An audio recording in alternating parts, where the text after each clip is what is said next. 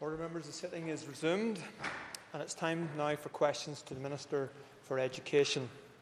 We will begin with 15 minutes of topical questions and I call Maeve McLaughlin. Following the uh, Health Minister's announcement today on the inquiry into child sexual exploitation, can I ask the Minister uh, what communication has taken place um, from the Department of Health with the Department of Education and has he actually now agreed to the terms of reference for the child sexual abuse inquiry?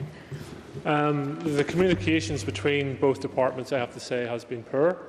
Uh, I have been informed largely through the media in relation to both the establishment of the inquiry, uh, that the Minister was hoping to involve the Education and Training Inspectorate, I found out through the media, and I was informed at the same time as all other members this morning in relation to the Minister's statement. I now have a copy of the terms of reference. I will study the terms of reference and then respond to the Health Minister in due course. I call Maeve McLaughlin for supplementary. and I thank the Minister for that uh, clarification. Uh, can I ask also, and moving forward, one of the issues is about ensuring that the voice of children and young people is included in the inquiry, uh, what the Minister can do to ensure that those voices are heard throughout this process? Well, I, I want to ensure that the, the, the heart of the inquiry has to be about the protection of children. It has to be about protecting the most vulnerable children in our society, those children in care. And clearly, I am keen to play a, a positive role in an in inquiry going forward and ensure that the lessons are learned of the past. If there was mistakes made in the past, that those responsible uh, are held to account for that and that we protect our children going forward. In several consultations carried out to date uh, by my own department, we have included children. We have used the offices of the Children's Commissioner in particular to ensure that the voices of children are heard and I will be studying the terms of reference uh, with a viewpoint ensuring that the children affected uh, and the children in care, there is a mechanism for their voices to be heard throughout this inquiry. I call Pat Sheehan. I got a last Corla.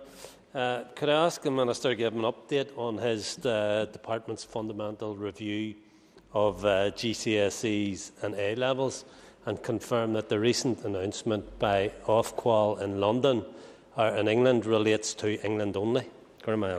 Um, I, I, launched a consultation process, uh, I think it was the 30th of September. I spoke to the House in relation to a report carried out by SEA into relation to the qualifications we conduct here. The recent announcements by Ofqual do only affect what is happening in England.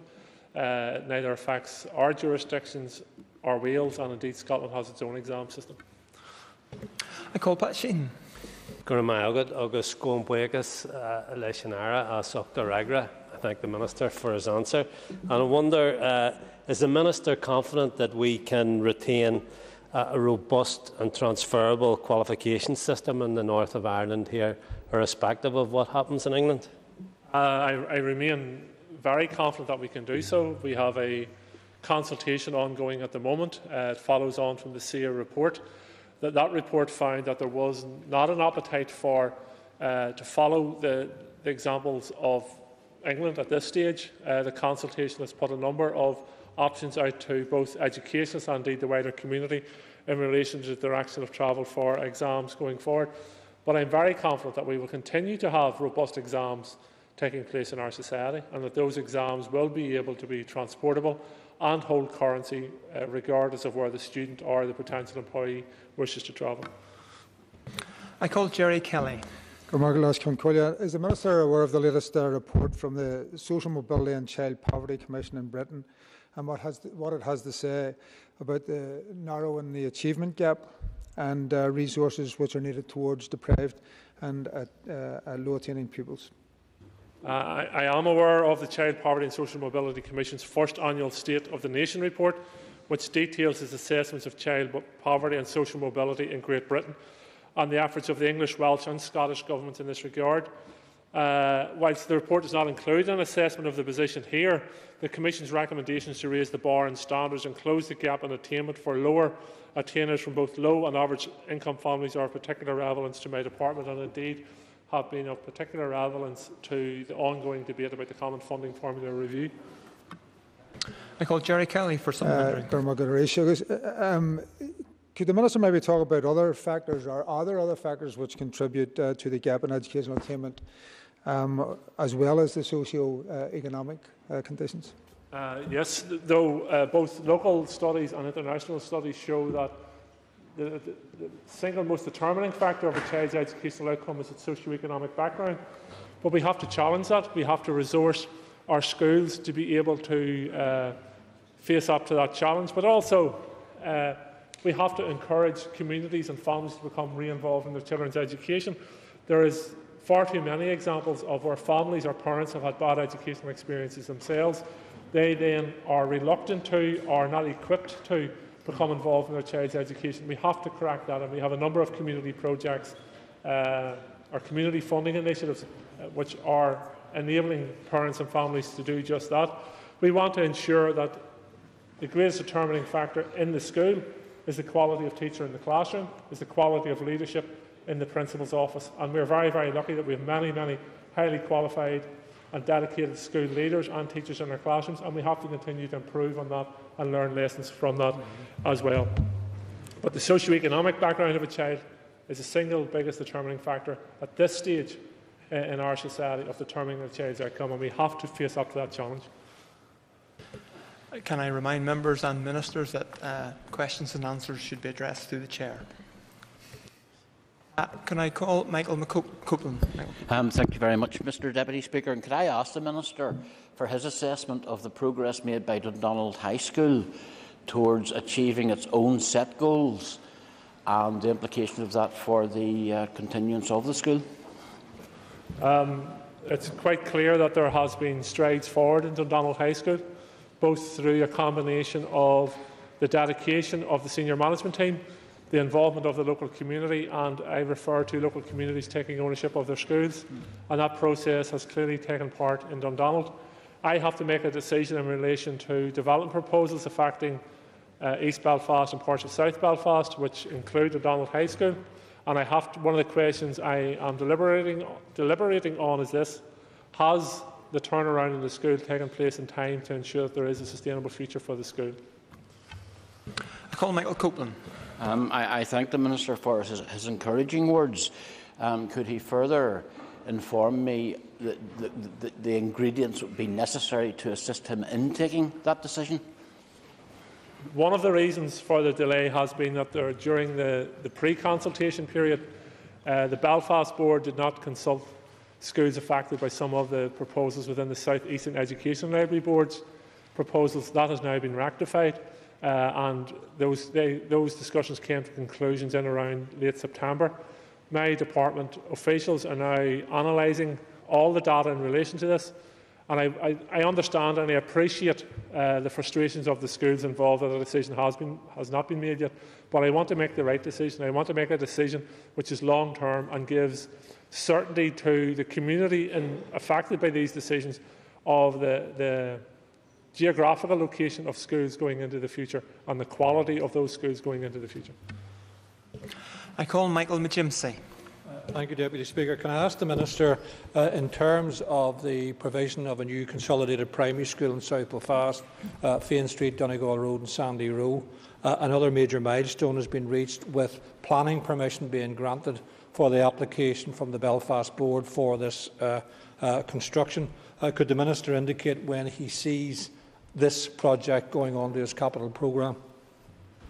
Um, we are continuing to engage with the five education library boards and CCMS in relation to the next announcement around the capital builds programme. Uh, I hope to be in a position in January, February time to make a further announcement uh, to the Assembly about further programme of bills going into the future. Uh, and I will keep in mind uh, the issues raised by the member in relation to the, the, schools around South Belfast. And I accept there has been uh, delays in the past. I accept that expectations have been arisen within that community over a new build programme. But I want to make sure, whatever announcements I make, that it is definitive that the school building will go ahead and within a reasonable time frame. So we are continuing to work on it, and I hope to make an announcement in the January, February time. I call Michael McGimpsey. Thank you, Deputy Speaker, and can I thank the Minister for that answer, which uh, again I see uh, as very encouraging. Uh, uh and just to uh, reiterate uh, what he has said are we actually saying now that the new consolidated primary school will be in the, the mix as far as uh, the allocation uh, of cap, at the capital programme stage will be when, it, when it's made? In other words, that our, hat, our, our, our name is now in the hat.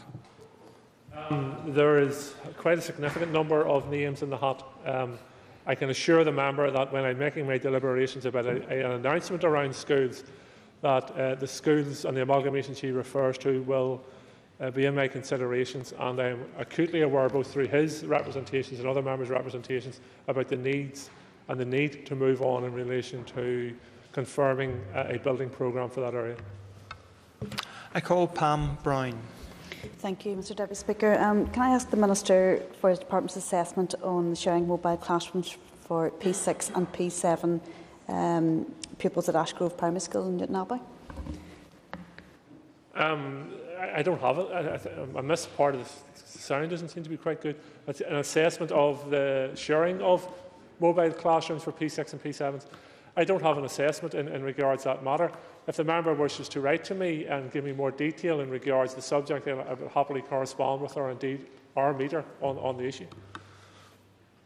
Uh, Pam Brown again. Thank you, Deputy Speaker, and thank the Minister for his answer and appreciate that he has in the background information here. Um, it's just given that, you know, I'm sure the, the Minister does appreciate that each class requires their own classroom um, where they can receive the tailored teaching that they actually deserve. And uh, I'd be happy to follow up with the Minister and be keen to see if and could we have a question, please? amenable to um, additional funding being available to the school so that they can um, end the practice of sharing a mobile? Um, during the last uh, announcement around building programmes, one of the issues we did take into account was uh, when considering eligibility for announcement was schools with a high percentage of accommodation within mobile classrooms. Now, and I don't have the details about the school you refer to, and I haven't finalised the criteria which we will use for the next announcement either. But we clearly want to take our young people out of mobile classrooms and put them into permanent structures moving forward. Uh, a significant number of our schools do uh, have composite classes in the sense that they share P6, P7 and, and, other classes. It depends on the numbers of pupils at the schools. Some schools it suits to do that in terms of the numbers they have, but I certainly don't want to see a large concentration of pupils in any classroom, and I want to move forward to ensure that our accommodation for our children is fit for the 21st century. I call Chris Hazzard. Can I ask the Minister to give an update on the Delivering Social Change Numeracy and Literacy uh, project, which involves the recruitment of uh, recently graduated teachers? Um, the, the programme is moving forward well. It has been a huge task to take forward, and it is an example, I have to say, of when our executive and our, our different ministries work well together. We deliver change for the communities we serve. Currently, as of the 25th of October, there were 209 full-time equivalent teachers appointed out of a total of 273 teaching posts for the First Deputy First Minister's DE schemes. Uh, we continue to, uh, the schools continue to advertise. There is continuing to be interviews taking place in terms of delivering and in putting newly qualified teachers into post, but it has been a very successful scheme. I have met a number of the appointees on my visits to a number of schools. Their enthusiasm is clear, and the delight of the schools being able to appoint newly qualified teachers is clear as well. I call Chris Hazzard. Um, it certainly sounds like the scheme has got off to a very positive start, and if indeed this is the case uh, for the duration, is it the Minister's intention to extend um, the scheme? It'll certainly be one of those schemes which I would like to be approaching the First and Deputy First Minister in the future uh, if there's further funds available through the Developing Social Change programme to increase the number of newly qualified teachers we are using through this scheme. Indeed, my own department, I have put in place 2.3 million to expand the scheme for another 36 teachers to be put in place. So it, it is a, scheme, a scheme that has been warmly received by our schools and by the newly qualified teachers. And it is a scheme that is making a real difference in young people's lives out there. And as I say, it's an example of when the executive works well together, how we can make a difference in young people's lives. Lord Morrow is not in his place. David McIlveen is not in his place. And I call Fearghal McKinney. Thank you, Mr Deputy Speaker, uh, and uh, can I thank the Minister for his answers thus far. Can I ask the Minister for any update on flexibility of school starting age? Um, I have asked my officials to come forward to me with proposals on how we introduce a flexibility into the school starting age.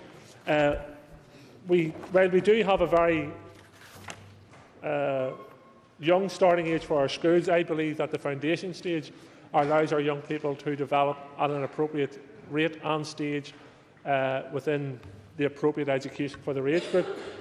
Officials are currently examining proposals in relation to exceptions within the flexibility of school starting age, where parents can identify that a child is too young to start school, in their opinion.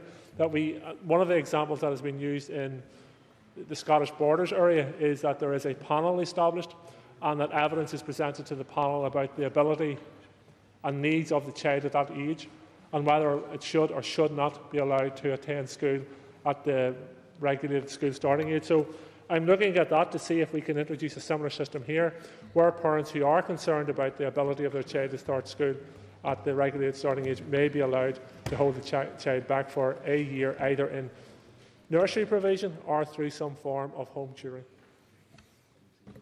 And that is the end to topical questions.